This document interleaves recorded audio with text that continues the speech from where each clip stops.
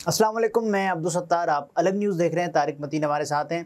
हाल ही में नायब वज़ीर आज़म बनने वाले इसहाक डार साहब जो कि शरीफ फैमिली के और मियाँ मोहम्मद नवाज़ शरीफ साहब के बहुत ही करीबी हैं उनको हटाने की तैयारियाँ की जा रही हैं। लेकिन क्यों? इस पर बात करेंगे लेकिन उससे पहले आपसे दरख्वास्त है चैनल को सब्सक्राइब करें। सब्सक्राइब करने के साथ साथ घंटी ज़रूर बजा दीजिए। अभी तो हनीमून टाइम भी पूरा नहीं हुआ इस हुकूमत पूरा नहीं हुआ लेकिन इसहाक डार साहब जो हैं हम्म। उनके लिए एक खबर आ गई है। जी। अच्छा उनके लिए कोई बहुत बुरी खबर नहीं है ये। हम्म।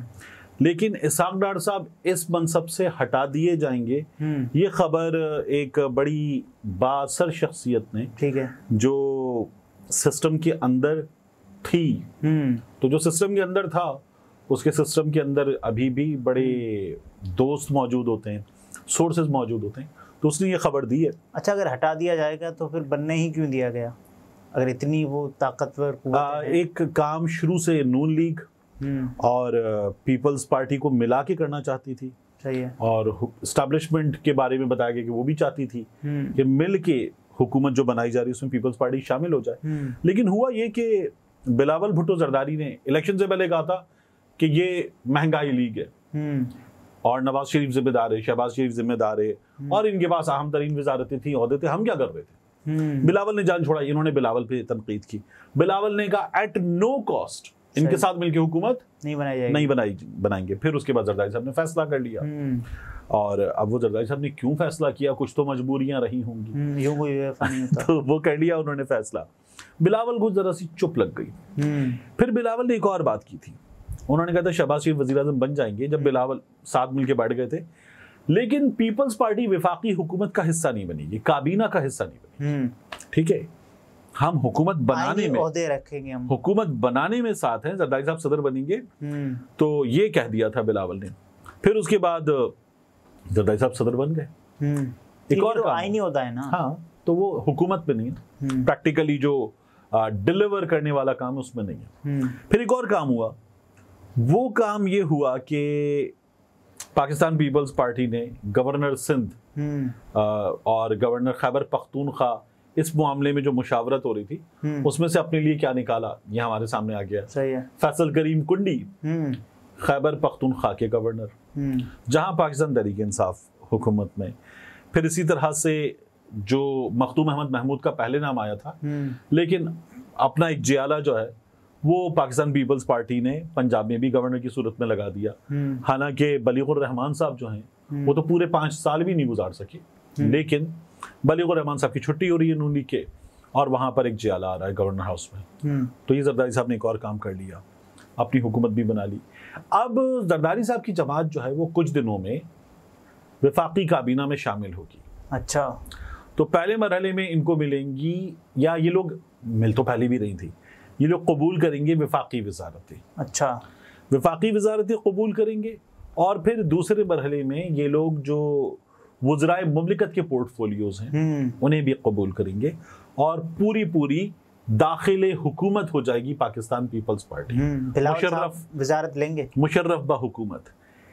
बिलावल भुट्टो जरदारी साहब जो हैं वो वज़ीर खारजा बनेंगे। सिस्टम के अंदर से निकल कर अभी अभी सिस्टम के खिलाफ बोलने वाले एक शख्स ने ये बताया है कि बिलावल भुट्टो जरदारी बनेंगे वज़ीर खारजा। इसहाक डार को रिप्लेस करेंगे? इसाक डार साहब को रिप्लेस करेंगे। अच्छा। इसाक डार साहब को तो अहदा बढ़ गया ना। हम्म। इसाक डार साहब हैं अब डेप्यूटी वज़ीर बढ़ गया है बढ़ गया है। नहीं नहीं बढ़ गया डेप्यूटी वज़ीर आज़म है तो सीनियर वज़ीर आज़म है। इसाक डार साहब के हवाले से मुसलसल आपको ये पता चल रहा है कि इसाक डार साहब जो हैं वो नवाज़ शरीफ की तरफ़ से हम्म। सिस्टम में अपने आप को असर्ट करने की एक एफर्ट एक है। पैगाम दिया गया है कि साहब हमारे पास भी है। हाँ तो वो इसाक डार साहब इसलिए आए हैं तो बिलावल भुट्टो जरदारी आ जाएँगे। दिलचस्प होगा पाकिस्तान पीपल्स पार्टी पहले इस पूरी हुकूमत को इस जमात को निशाना बना रही थी।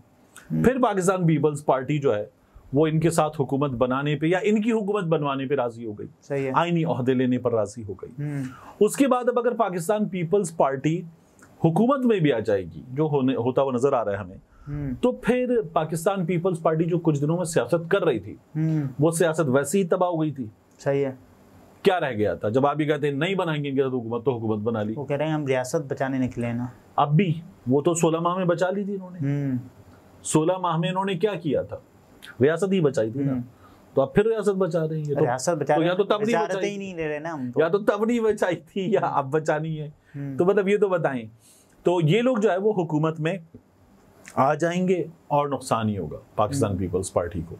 नून लीग को मजीद नुकसान होगा। इनकी सियासत जो है वो और फारिग होगी लेकिन जो फैसले किए गए उनके नतीजे में इस बात की परवाह इस वक्त नहीं की जा रही कि सियासत फारिग होती है या नहीं होती। हम्म।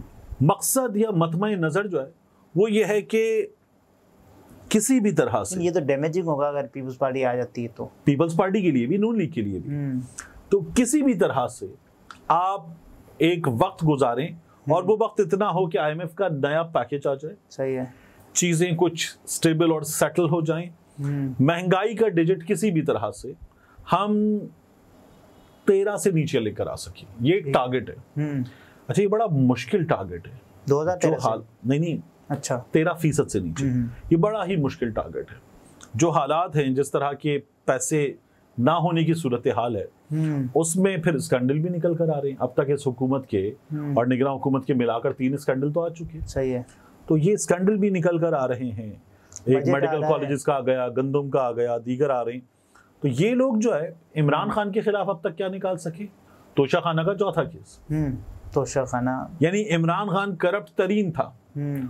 तोशा खाना का चौथा केस निकाला इन्होंने। हम्म। तो ये आवाम को क्या मुँह दिखाएँगे कि इमरान खान करप्ट तरीन था बुशरा बीबी करप्ट थी फराग गोगियों की हुकूमत थी और अभी तक कुछ भी नहीं निकाल सके आप इमरान खान के खिलाफ। सही है। ठीक है? जो ट्रांसफ़र पोस्टिंग्स हो रही थी जिनमें ये लोग माल बना रहे थे और माल जो है वो बनी गाला पहुँचता था और खावर मानिका का एक बेटा वो माल लेकर जाता भी था। अच्छा। ये सब कुछ हो रहा था। हम्म। वो भी आप अभी तक नहीं निकाल सके। हम्म। ये सब कुछ हमारे सामने था ठीक है? तो दूसरा मुझे ये बताएँ कि इस करप्ट तरीन हुकूमत में एक करप्ट तरीन आदमी था हम्म। वज़ीर आला पंजाब। अच्छा। उसका नाम था उस्मान बुजदार। ठीक है? जिसका ताहिर खुर्शीद जो सेक्रेटरी था। वो भी करप्शन में आगे आ गया था। ये इल्ज़ाम था ना। क्या हुआ है उसके खिलाफ? कुछ नहीं कुछ भी नहीं। उस्मान बुजदार के खिलाफ क्या हुआ? है वो तो छोड़ गए बस छोड़ गए। ठीक है ना? नहीं नहीं वो तो नौ मई से जान छूटी ना छोड़ दे पर। मैं तो ये पूछ रहा हूँ करप्ट तो था ना? हम्म। इंतहाई करप्ट था इंतहाई थे। नाअहल था क्या हुआ अब तक? कुछ भी नहीं हुआ। तो इसका मतलब है इनके पास इमरान खान के खिलाफ तो कुछ भी नहीं है। अच्छा असद उमर साहब दूसरी बात बता रहे थे कि पीटीआई की हुकूमत बनेगी उस्मान गुजार फिर वज़ीर अला बन जाएँगे। नहीं, ये तो खैर मुझे नहीं होता वो नज़र आ रहा। हम्म। असद उमर साहब को क्यों नज़र आ रहा है असद उमर साहब बताएँगे। लेकिन करप्ट तरीन आदमी था क्या किया उसके खिलाफ? हम्म।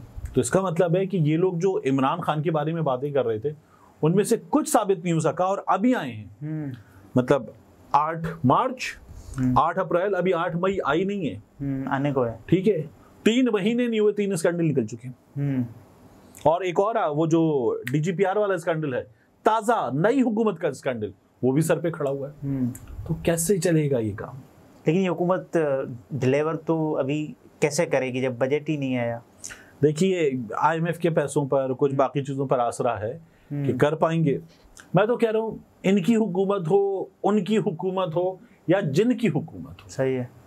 बात यह है कि आवाम को कुछ ना कुछ किसी ना किसी सूरत में रिलीफ मिलना चाहिए ये बहुत ज़रूरी है। लेकिन अभी फ़िज़िकल ईयर आएगा तो बजट पेश किया जाएगा। आईएमएफ पहले कह रहा है कि शराइ पूरी करें उसके बाद आपको दिया जाएगा तो तो रिलीफ कैसे मिलेगा? हम्म। हाँ ये तारिक मतीन थे गुफ्तु आपने मुलायजा फरमाई। इजाज़त दीजिए अल्लाह हाफिज़।